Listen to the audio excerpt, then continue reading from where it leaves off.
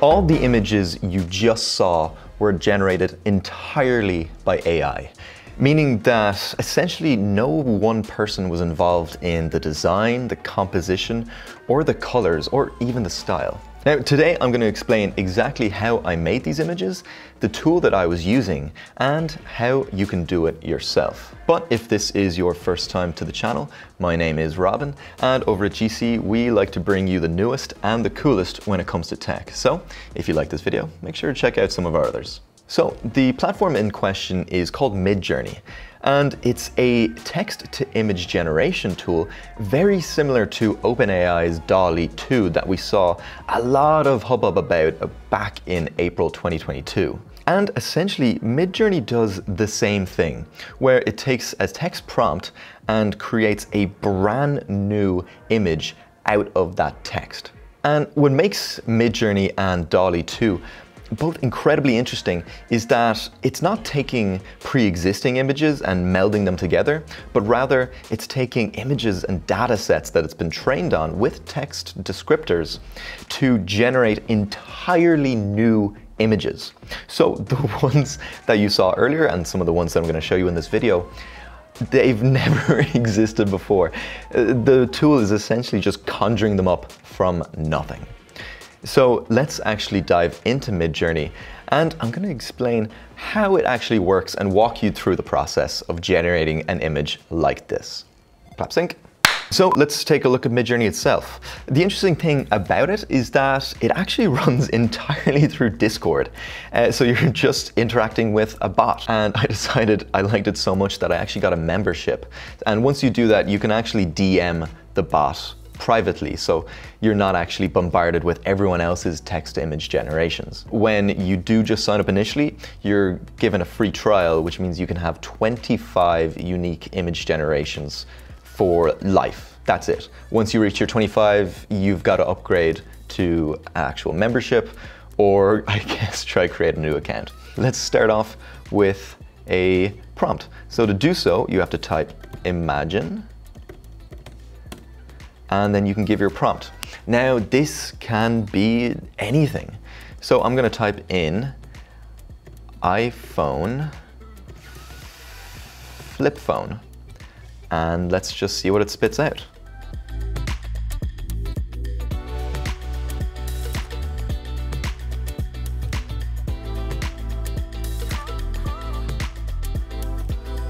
When the images are finished processing, it'll spit out four variations of your prompt, as well as nine buttons here.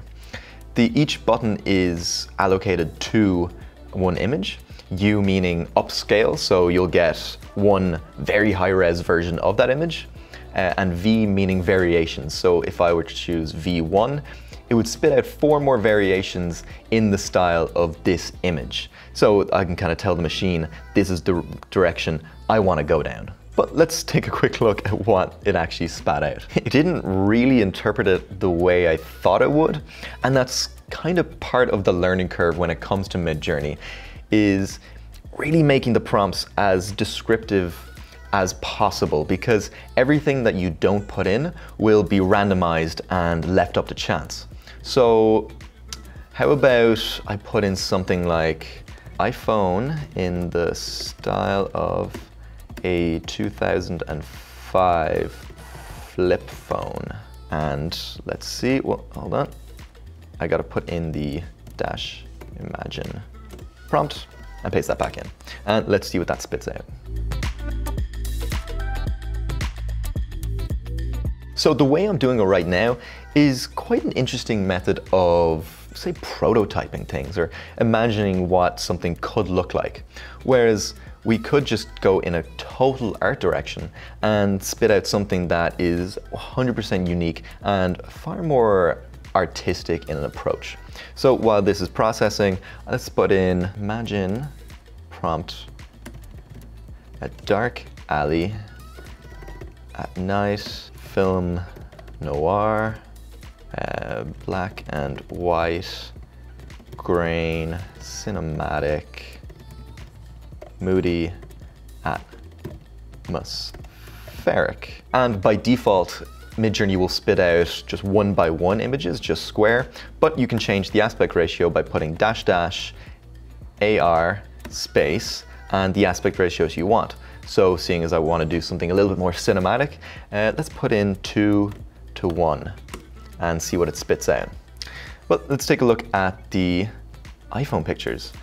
So we're getting something a little bit closer. So as you can see, it looks almost a little bit more like what, what smartphones looked like back in like 2007 with like the Samsung Taco series and whatnot. So our film noir scene is done. And as you can see, it spat out four like ridiculously beautiful images. But if you don't like any of those images, you can just hit refresh and it'll spit out four more. But say you do like one of the images, say I'm quite a fan of number three here, I can choose to upres number three, and it's gonna give me a much more detailed, clearer look at that image. So you could put in that same prompt as many times as you want, but you'll never get the exact same image put out twice. Every single time you do this, it's gonna be a totally unique image. Even though it might look somewhat similar, it's never gonna be the exact same thing twice. Once you've used up your free trial and you want to upgrade your membership, you can just go to midjourney.com on your account and you can head down and see the different memberships available. Now, the current one that I'm on is just the basic membership, which is $10 US a month. And for that, you get 200 image generations per month. So at the end of the month, that resets and you have 200 more. If you want unlimited image generations, then you can subscribe to the standard membership, which is 30 US a month. So what exactly does this mean for artists and graphic designers and the like? Well, I think similar to how TikTok has brought down the barrier of entry for video content sharing and storytelling, I think this sort of AI generation art is bringing down the barrier to entry for creating beautiful artwork. So instead of the mark of excellence being your technical abilities, rather it's now your ideas it's the prompts, it's, it's what you can come up with to generate a beautiful image or an image that tends to your needs. So it's pretty similar to what happens when you become a higher up in a creative agency or something. You're no longer the one physically creating the images, rather you're the one who's coming up with your ideas. You're being paid to be an idea person. So what these tools do is give everyone the means of being a creative director. All right, so everyone could be a creative director. Very good. It's been a week since I shot this A-roll and it's given me a chance to use Midjourney a lot more. So I have a few more thoughts that I just want to add to this. The first thing is that since I shot this A-roll, Midjourney has actually become an open beta. So now anyone can join it. You don't need an invitation like previously needed. Secondly is the question of ethics. Midjourney, it's the only one that's actually totally open now. And interestingly enough, there's no talk about ethics when you join. They don't force you to sit down. But what they have done is actually ban a number of words. One of those words being nude. So you can't just put in so and so celebrity nude and then put these pictures up online.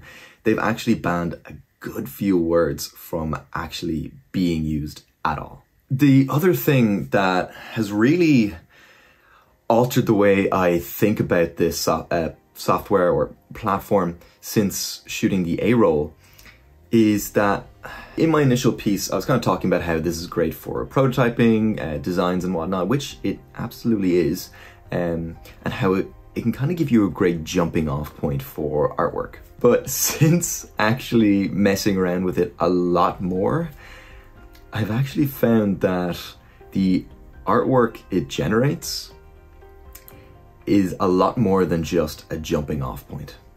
I put in a, a totally random prompt. It wasn't anything that I intentionally described. And the artwork that it spat out gave me a genuine emotional response. like as if it was done by a person. I'm gonna put it up on screen now. And the most ridiculous thing about this is that this prompt was entirely generated by, I guess you could say, AI. As in, I went into the predictive words uh, in iMessage and I just put in wow and then I hit every other word that popped up until it seemed like I had a full sentence or paragraph. And the image that it put out blew me away when I first saw it. I, I, I couldn't believe everything from the composition, the color choice, the technique that was being used. I, I, I, honestly, looking at it, felt emotional. It, it conjured up other images and feelings in my head that I never thought AI generated art could do. Everything else prior to that, I was like, oh wow, like this looks amazing. This looks really great. I can't believe it. But nothing actually gave me that emotional response as pretentious as it sounds. Nothing gave me an emotional response quite like those images. And what's so scary is that the prompt itself was also totally just randomly generated.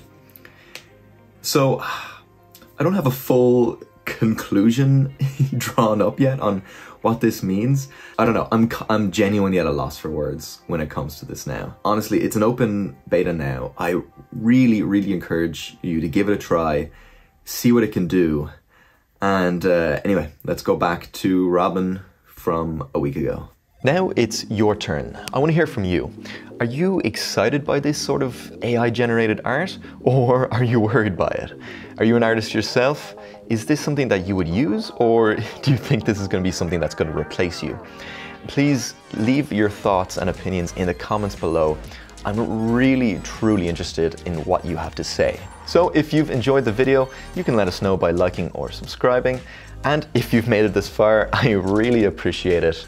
My name's Robin, and if you liked this video, we've got one just as good right here, which I'd recommend checking out right now.